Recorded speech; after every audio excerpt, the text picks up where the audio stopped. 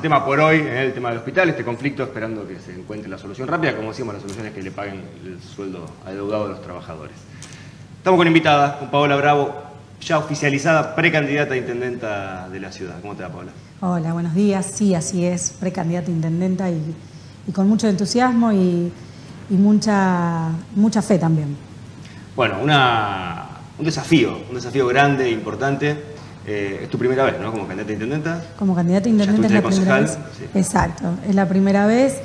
Y, en, esta, en este en particular, nosotros tenemos un claro objetivo que es reorganizar y volver a formar lo que es el peronismo en la ciudad de Venado Tuerto, que a mi entender está eh, no, existe, realmente no existe, nos prohibieron, nos prohibieron hace 12 años, por no decir más, pero digo 12 años, eh, la posibilidad de tener una unidad básica donde todo compañero y compañera se pueda juntar, se pueda charlar, pueda generar fuerzas para el después, y, eso no lo tenemos, y bueno, eso es una, una cuestión de que hay que revertir, hay que revertir en la ciudad. Eh, el peronismo tiene que volver a ser esa fuerza donde los ciudadanos puedan tener como alternativa para elegir. Y creo que es la oportunidad, creo que una situación eh, difícil, difícil económicamente, socialmente, y, acá no hay lugar para los tibios, y bueno, y se ve la lealtad y se ve aquellos que queremos realmente que, las cosas cambien, y por eso creo que fui una de las primeras que, anuncié mi precandidatura, sin especular, Creo que eso es lo que nos diferencian de los otros espacios, sin especular, eh, entendiendo esto, eh, volver al peronismo, volver al kirchnerismo, volver a, reformular eh, este partido dentro de la ciudad de Santa Fe. La frase fue contundente, digamos, dijiste, el peronismo no existe hoy, sí. Tuerto. ¿lo, sienten de esa manera? lo, sentimos de esa manera por una cuestión de que durante 12 años el peronismo era la municipalidad de Venado Tuerto, y desde ahí salían los candidatos a concejal y bueno, los concejales volvían a la municipalidad. Entonces todos los que estamos fuera y que nos sentimos peronistas, no solamente nosotros como participantes activos de la política, sino todos los vecinos y vecinas que muchas veces uno recorriendo dice yo soy peronista, no tenían este lugar, no, se sentían parte y al no sentirse parte no se puede construir nada. Entonces me parece que eh, volver a reorganizar el peronismo, volver a, sentar las bases, me parece que es fundamental con todos y con todas. Eh, eso hay que aclararlo. La idea no es echar a nadie, pero sí empezar a dar de vuelta y, poder, poder empezar a, hacer un verdadero peronismo con una unidad básica donde todos compañeros y compañeras se puedan sentir parte sin necesidad de pertenecer o no a la municipalidad. Claro. Bueno, a favor tuyo y del espacio, ustedes han sido quienes han enfrentado las internas a, la conducción en su momento municipal, digamos, en la cabeza de José Freire, digamos, pero han sido quienes han planteado todo el tiempo disidencias y lo, han expresado inclusive con presentación de listas, digamos, aún en, panoramas adversos, obviamente, contra la estructura municipal, digo, pero eh, está claro que esto lo venían planteando de alguna manera. Sí, por supuesto, si hay algo que tenemos es la coherencia la coherencia y la lealtad a lo que nosotros decimos y me parece que el contrato, ese contrato electoral que se plantea con, la ciudadanía no se debe romper. Nosotros siempre dijimos quiénes somos, nosotros pertenecemos a, un espacio donde reivindica la figura de Cristina Fernández de Kirchner como máxima conductora del movimiento. Siempre lo dijimos, siempre lo vamos a decir. Eh, y eso es la coherencia. Y mm, podemos coincidir o no, pero está bueno saber de qué lado juega cada uno y esto de no saltar de espacio a espacio me parece fundamental, y desde ese lugar empezar a construir. Me parece que, bueno, esto, cuando no, no, hubo, no hubo acuerdos, cuando lo hemos intentado, obviamente que nosotros planteamos nuestra postura y obviamente que en el caso como nos tocó de perder una interna, fuimos y acompañamos. Hoy estoy segura de que, por lo menos en la candidatura de intendencia, eh, bueno, van a ser ellos los que nos van a acompañar. Digo ellos porque también hay que aclarar de que hay tres espacios de justicialismo, pero hay dos que tienen distintos candidatos a concejal, pero, pero en realidad tienen un mismo jefe político, que es Omar Perotti, que es el actual gobernador, donde tienen el mismo candidato a senador y que, y que lo único que se diferencia es los candidatos a concejal, o casualidad, digo, eh, hay una posibilidad real de, una, de un lugar en una banca. Por eso vuelvo a insistir en lo mismo, nosotros no especulamos. La realidad es ponernos con el corazón, la cabeza, todo el cuerpo en esta, en esta lucha para reconstruir el peronismo más allá de las elecciones de ganarlo o no. ¿Le viene bien al, partido que haya una interna de intendentes? ¿Cree que es positivo?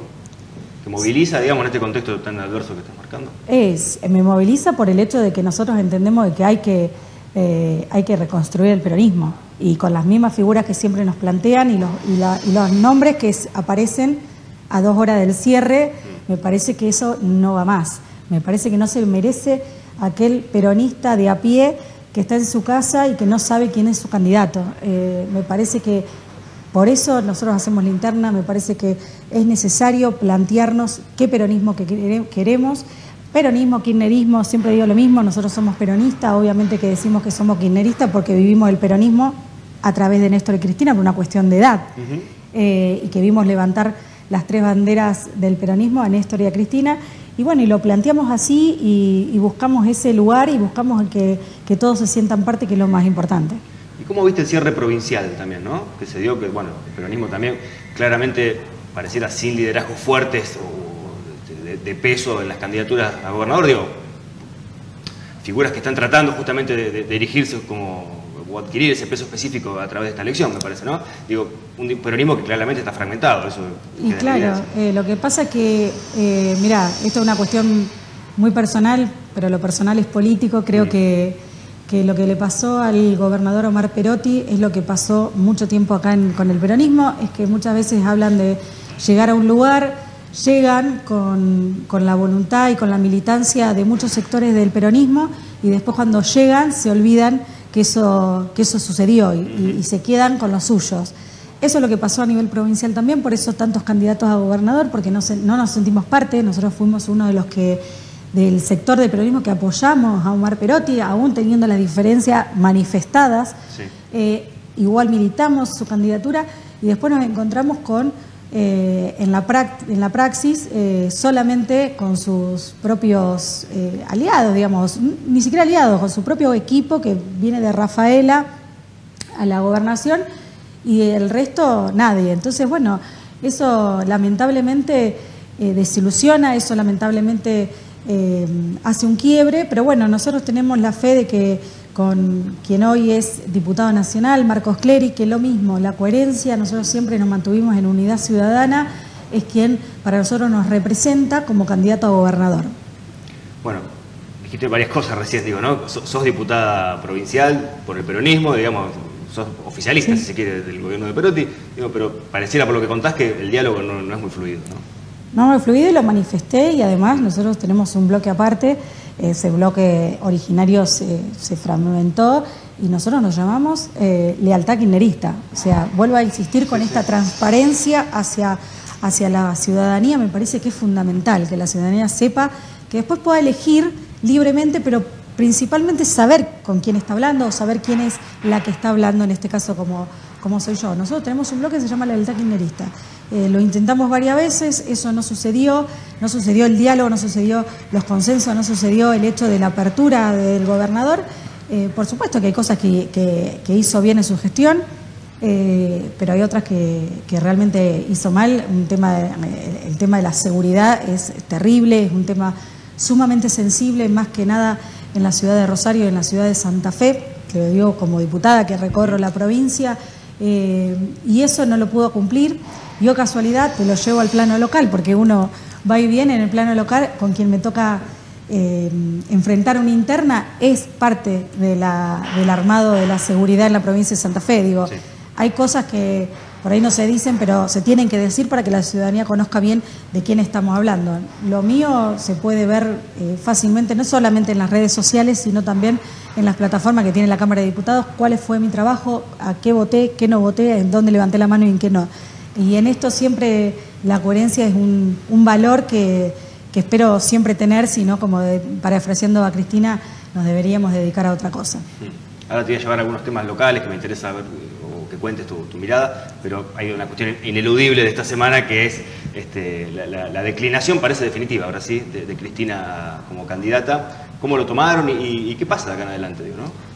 Bueno, nosotros lo tomamos muy bien, digamos, ya sabíamos siempre lo manifestamos que como un deseo militante eh, eh, entendíamos que, la esperanza le encarna a Cristina.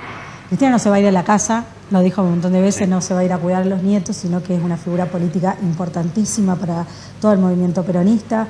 Eh, es, quien, es quien tiene la capacidad de ver más allá, más de los pasos que uno puede dar, ella lo, puede ver. Eh, y, nada, me parece que está bien, me parece que es momento no solamente de cuidarla a ella, sino que también de cuidar el espacio político que representan los intereses populares, porque el, ataque hacia, hacia Cristina Fernández de Kirchner es un ataque hacia el peronismo, porque es quien el movimiento que más defiende a, todo el pueblo, digamos, a todo lo que es la clase trabajadora, los jubilados y demás. Entonces, es claro, eh, es un claro eh, definición de disciplinamiento. Si a, si a ella le puede pasar las cosas que le pasan, que recordemos que fue eh, un intento de magnicidio, donde se horrorizó todo el mundo, menos en la Argentina, porque hoy no tenemos a nadie preso por lo que le pasó a la vicepresidenta. Eh, imagínense a los que a los que hablamos y a los que decimos y a los que seguimos su conducción, ¿no? Entonces como que te dicen, mira, si esto le pasa, vos no hables.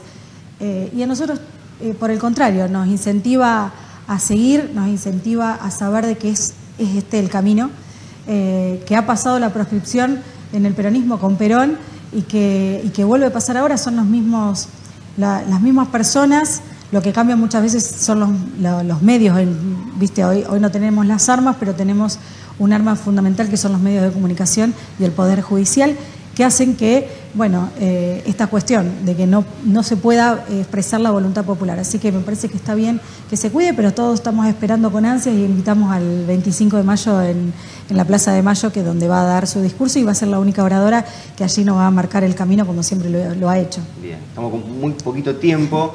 No es, la última charla que vamos a tener, por supuesto, esto recién arranca en términos de campaña. Digo, me interesa que puntualices un par de ejes, ni siquiera porque lo desarrolle, digo, pero que lo menciones, dos, dos o tres ejes que te parece que son claves para, para poner en, debate en esta campaña pensando en la ciudad, ¿no? Sí, pensando en la ciudad, como vos bien dijiste, el, plan de campaña obviamente que lo vamos a desarrollar eh, después una vez que, podamos oficializarlo bien y podamos hacerlo.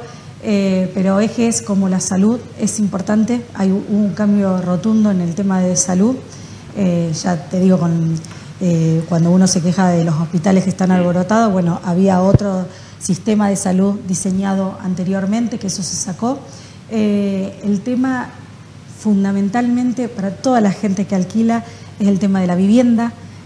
nosotros pensamos hacer eh, bueno, es juntamente con el diputado Marcos Clery, quien se candidatea a gobernador, un procrear santafesino. Me parece que siguiendo las líneas, como tenían Néstor y Cristina, con el procrear, que mucha gente se benefició, eso se puede lograr a través eh, no solamente de la provincia, sino a través de los municipios, a través de los sindicatos. Eso se está llevando a cabo y nosotros lo queremos implementar acá porque el tema de la vivienda no solamente es un derecho fundamental consagrado en nuestra Constitución, sino que hoy los alquileres están altísimos y prohibir a una a una persona que no tenga esa vivienda consagrado en nuestro derecho como en la Constitución, me parece que eh, estamos mirando a otro lado. Eh, así que bueno, empezar a, tratar estos temas, a tratar los, temas de la agenda, y esto déjamelo decir, hoy votan, hoy van a votar los menores, los chicos de 16 y 17 años, es el voto joven, es el voto que tiene también una agenda propia y que los dirigentes o dirigentes, como en mi caso, debemos escuchar y debemos llevar a la práctica porque es una agenda propia que tiene que ver con este sector y que la debemos escuchar para poder avanzar en, las plataformas que ellos quieran. Paola, muchas gracias y bueno, como te dije, ya volveremos a charlar eh, seguramente en las próximas semanas. Por supuesto, muchas gracias a ustedes. Paola Bravo, precandidata a intendenta de la ciudad de Venado Tuerto, pasó también aquí por el BRTV. Nos vamos a una pequeñísima pausa y ya venimos con más protagonistas.